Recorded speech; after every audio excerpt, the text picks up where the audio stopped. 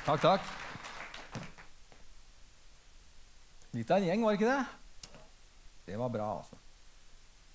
De er ungdommer. Er, vi har forska litt på hvordan vi snakker med, med ungdom og barn, faktisk. Og det viser seg at vi behandler jo ikke barn og ungdom som om de er voksne. Men vi behandler alle på en barneavdeling omtrent som de er ni, viser det seg. Så nå bør vi kanskje ta det inn over oss da, og justere det spekteret lite grann. Det skjer veldig mye bra i helsevesenet. Det gjør det. Og jeg er glad å få være en del av det. Allikevel så får vi ganske mye kjeft. Det er underskudd, det er fristbrudd, medieoppslag, klager. Det er slitsomt. Det virker som om mye av det vi putter inn, på en måte renner ut. Og det gjør det. Vi lider av det som kirurgien kaller en massiv sivblødning. Mm. Skal jeg bevege meg inn i teknologiens verden her? Var ikke det ta en illustrasjon? Vi er anlagt og opplært i helsevesenet til å hjelpe. Vi ønsker å både helbrede, men også lindre og trøste. Kort sagt gjøre det bedre for pasientene. Er du med? Og så har vi den utfordringen at det ligger i sykdoms natur at det er ganske mye som kan bli verre. Og en del av de tingene har vi en påvirkningskraft på. Noe som gjør ting verre, det er usikkerhet. Hvis de ikke vet hva feberen kommer av. Annet er utilstrekkelighet. Kreftmedisinen virker ikke allikevel. Så har vi uenighet. Når en pasient sier trenger ikke å være så veldig syk, litt vondt i ryggen, sier du, nå har jeg gått med dette her, nå må jeg bli undersøkt skikkelig, nå må jeg få meg en CT. Legen tenker ja, er vel ikke så veldig alvorlig, det der sånn. Tror ikke vi trenger noe billeddiagnostikk. Og skulle jeg tatt det, så hadde det ikke vært en CT, det hadde vært en MR. Mm -hmm. Det som er utfordringen, da, at vi har veldig lite trening i å håndtere når sånne ting kommer opp. Vi på en måte gjør det bare på vår måte. Det er noe, liksom noe vi bare skal kunne. Om vi har lite trening å håndtere det, så har vi omtrent ingen trening i å forebygge det. Og det er i det landskapet jeg hadde tenkt å ta dere litt nå. Ta uenighet. Hva skjer når vi er uenige? Veldig ofte har vi lagt oss til en måte å møte det på som drar seg mot konflikt. Pasienten med vondt i ryggen sier Anne, har jeg såpass vondt? Jeg tror jeg trenger en sykemelding. Legen sier ja, vi pleier ikke å sykemelde for såpass lette plager. Jeg mener at det bare skal gå sånn da, og bli stivere og stivere. Ja, ser dere? Drar seg mot konflikt. Og det er veldig ubehagelig. Vi er veldig vare for konflikt, for det passer liksom ikke inn i min måte å være hjelper på. da. Så jeg vil gjøre nesten hva som helst for å trekke det inn igjen.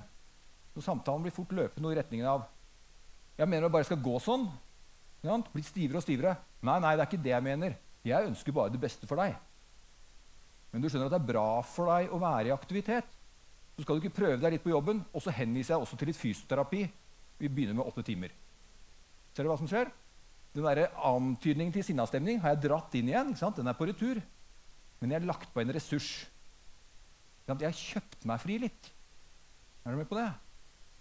Og det er der vi, der vi begynner å komme litt utpå.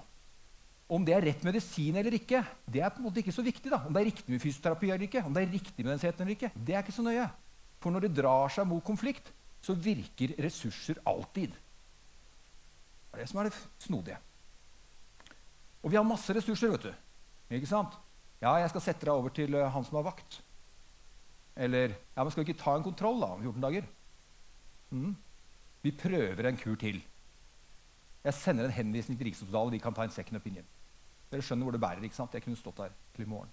Vi har uendelig med ressurser. Det er jo, det er jo på en måte litt av moroa. da. Ikke sant? Har dere idé om hva unødvendige undersøkelser koster oss? Nei, det er ikke noe å skamme seg over. Ingen vet. Ikke jeg heller. Men jeg kan gi en liten antydning. Hvis vi tar noe så snevert som MR av knær hos middelaldrende og eldre, så koster det oss, altså, som ikke gir oss, Det er ikke indikasjon for det. Det gir oss ikke noe diagnostisk eh, informasjon og heller ikke noe kurativ virkning. Ja, unødvendig. I året 50 millioner kroner. Imponerer kanskje ikke denne forsamlingen så mye. Prøv dette. CT-undersøkelser. Unødvendige CT-undersøkelser. Statens strålevern regna på det i 2012. Gjorde vi 450 000 unødvendige seteundersøkelser. Har vi gode avtaler, så er vi kanskje nede i en tusenlapp per undersøkelse. En halv milliard. Da begynner vi å snakke penger. Og nå snakker jeg ikke noen ting om hva det medfører av lidelse i tillegg. Hva vi påfører av kreft osv. Men altså bare i rene penger. En halv milliard. Og det er én enkelt undersøkelse. Og hvis dere tror at dette er noe på retur 2012, det er lenge siden, nå har vi gjort mye. Vel, kom ut en artikkel fra British Medical Journal på fredag hvor tre fjerdedeler av legene sier at unødvendige undersøkelser er et stort problem. Så det er der fortsatt. Så hvordan skal vi stoppe dette her sånn? Kortversjonen er at det handler med, i møte mellom helsepersonell og pasient. Dette sa Emmy Williams fra Mayo-klinikken i 2012. Det handler om at vi må ikke dra det mot konflikt i utgangspunktet. Vi må heller trekke det i retning av tillit. Ja, har snakket om tillit i dag, og det er der nøkkelen ligger. For har vi tillit, så trenger vi ikke å kjøpe oss fri fra usikkerhet, utilstrekkelighet eller uenighet. Så hvordan står det til med tilliten i norsk helsevesen? Skal vi være ærlige, så fortjener jo ikke alltid den tilliten vi får. Er du med på det? Han ble operert på feil side. Da har man kanskje hatt litt mye tillit. Men vi får heller ikke alltid den tilliten vi fortjener. Folk er skeptiske til ting vi faktisk veit. Jeg vil ikke si at vi har noe tillitsproblem i norsk helsevesen, eller helsevesen generelt, men vi har en utfordring og et lite problem når det gjelder tillit allikevel. Og hvordan skal vi øke den? Hvordan skal vi ta pasientmøtet? Ja, Vi må ha en god dialog. Nå tenkte jeg skulle vise dere hva en god dialog er. Hvordan vi tenker at det er smart å bygge opp pasientsamtalen. Jeg skal bare skjenke meg litt her.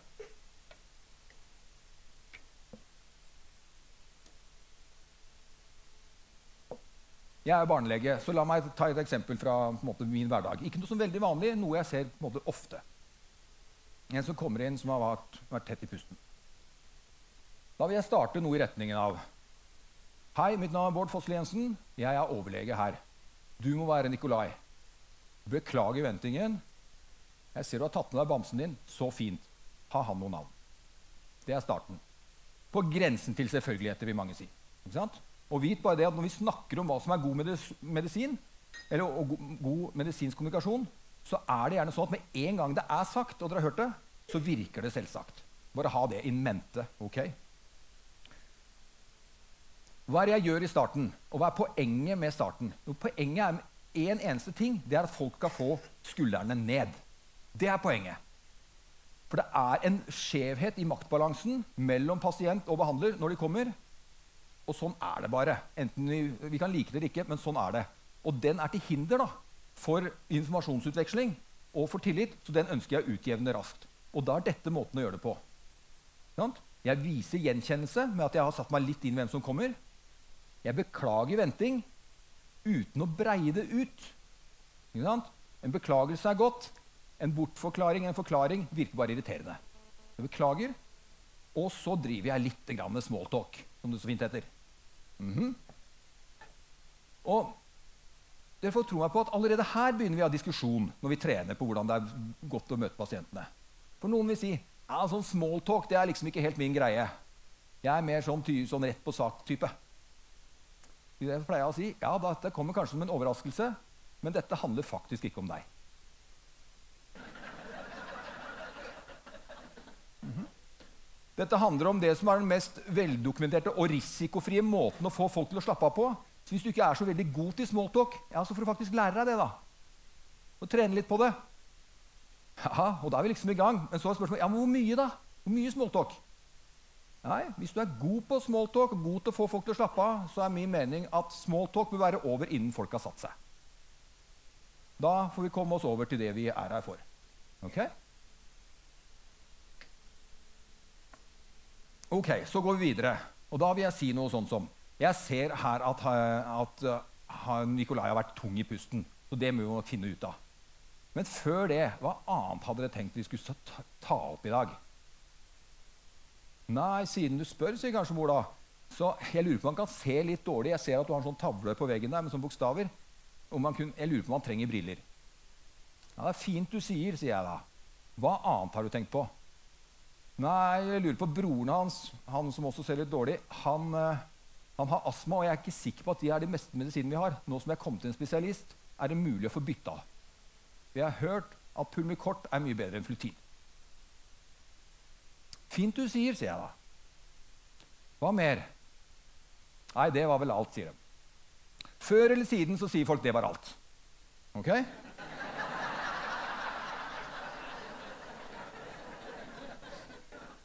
Og Hva er grunnen til at jeg gjør det på denne måten? her sånn? Jo, fordi at skape meg mer arbeid, på en måte, vil mange tenke. Nei, det er en grunn til det. For dette her er jo ikke tanker som dukker opp i hodet på dem i det nanosekundet jeg spør. Dette har de gått og tenkt på. Lurer på om jeg kan få lurt inn det spørsmålet her. Mm. Og det at folk sitter og tenker på det, det gjør at de sitter litt ytterst på stolen og, og venter til jeg trekker pusten. Eller til helt på slutten, når jeg gjør som jeg har lært å gjøre, spør var det noe mer du lurte på. Og ingen av de løsningene er særlig bra, da, for sitter du ytterst på stolen, så følger du liksom ikke helt med. Mm -hmm. Så jeg får ikke vite det jeg trenger, og de følger ikke helt med på det jeg sier. Og det ønsker jeg å legge dødt. Så det neste jeg gjør da, er at så går jeg til å planlegge. Sier jeg OK. Nå er det noe sånn at ikke er jeg så veldig god på øyeundersøkelser, og ikke har jeg utstyret til heller. Så det foreslår jeg at dere tar med en optiker. Og av prinsipp så begynner jeg ikke å blande meg inn i medisiner til en pasient jeg aldri har sett før. Så det håper jeg dere er greit om dere tar med fastlegen. Til gjengjeld så har jeg vært borti ganske mange barn som er tett i pusten, sånn som han er nå. Så jeg foreslår at vi bruker tida vi har i dag, til å finne ut av det. Er det i orden for dere? Og det er en bra plan, ikke sant? Men da har vi liksom en deal på det, da. At vi skal bruke tida på det. Da vet vi hva vi skal gjøre. Og det er godt for meg. Og det er godt for pasienten.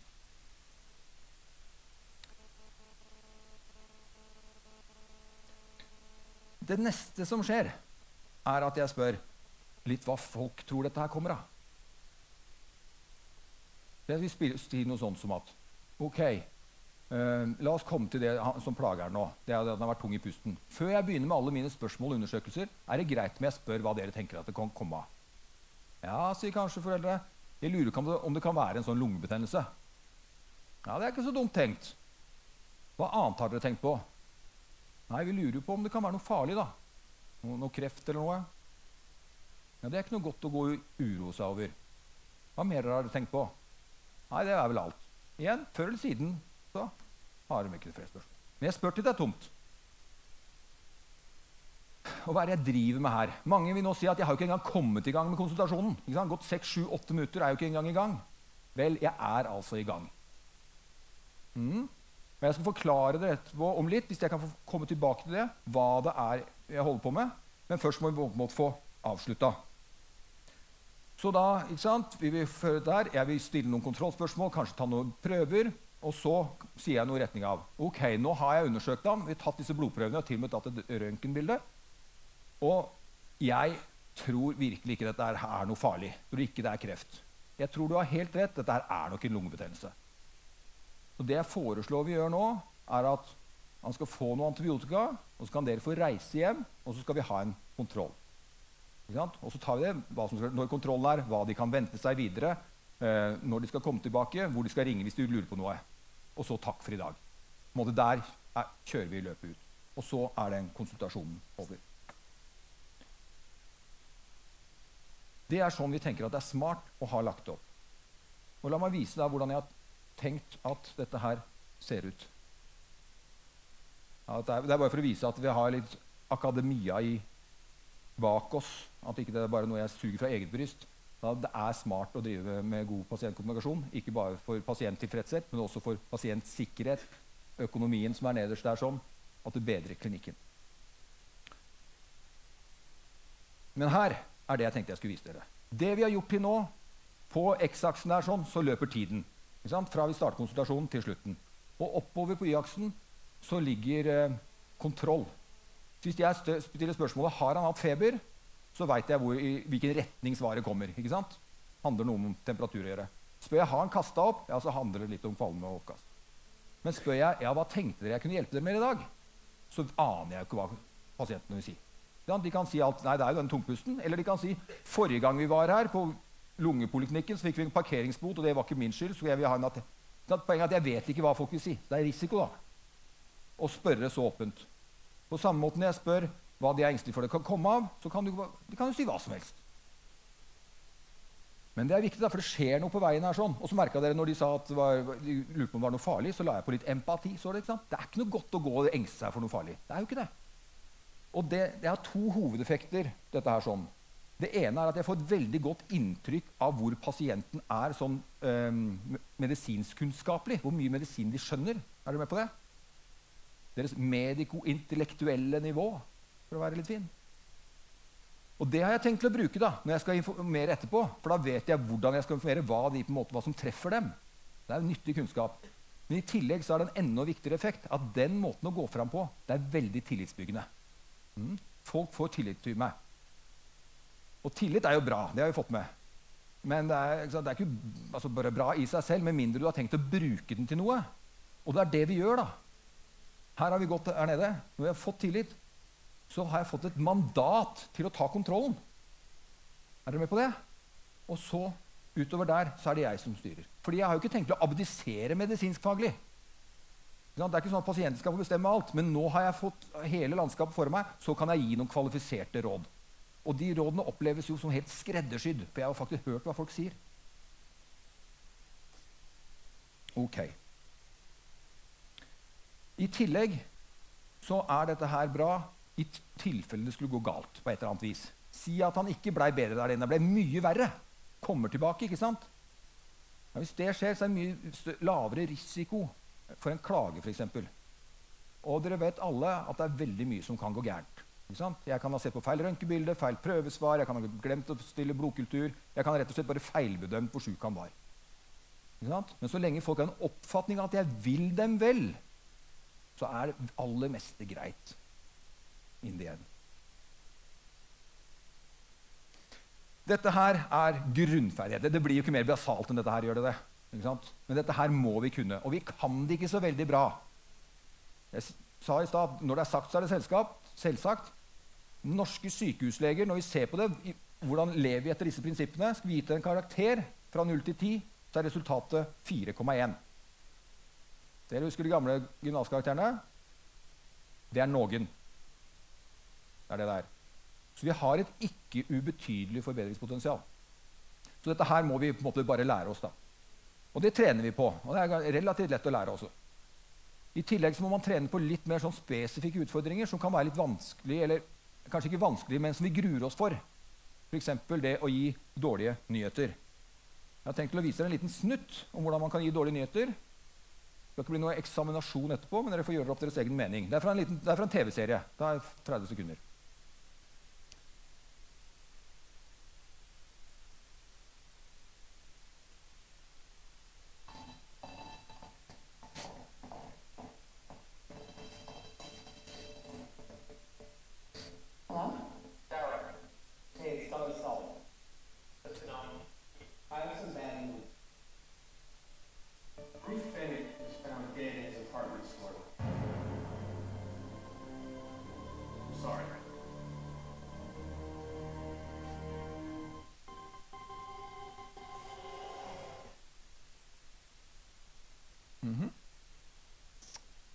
Hvem syns Don Self var god?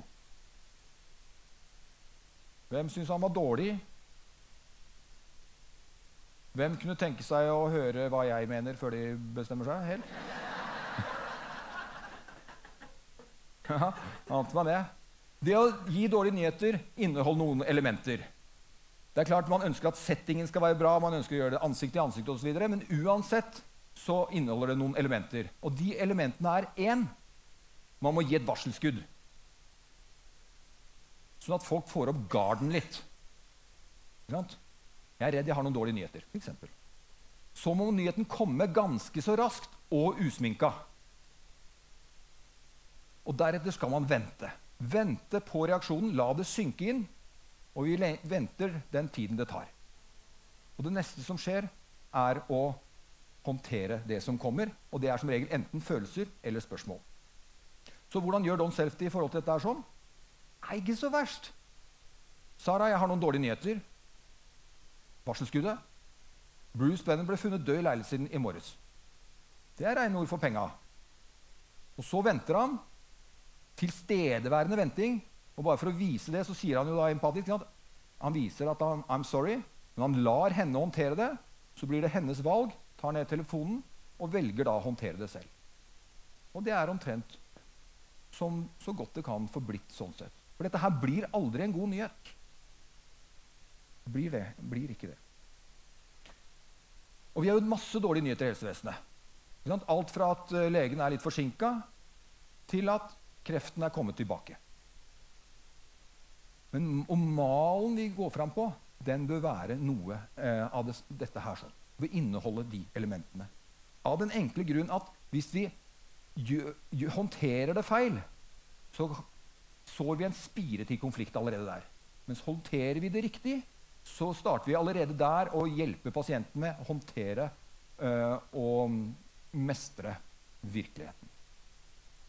Så hva kan vi gjøre? Ahus har vært nevnt mye. De trener systematisk. Samme gjør Haukeland, samme gjør Diakonhjemmet. Og det er flere sykehus som er på vei til å trene systematisk folkene sine. Og de husker at dette her er ikke noe vi kan overlate til den enkelte. Det er altså et ledelsesansvar og et systemansvar.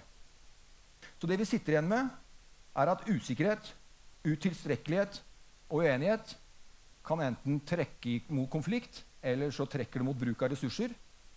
Konflikten gir klager og mediestorm. Ressursene gir budsjettunderskudd og, og fristbrudd. Det er her vi sier Blør, så det er forebygging som gjelder. Så jeg er helt enig. Vi skal gi pasientene mer makt. Det er helt, uh, helt åpenbart at vi trenger.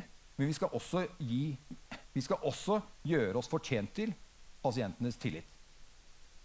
Tusen takk for oppmerksomheten.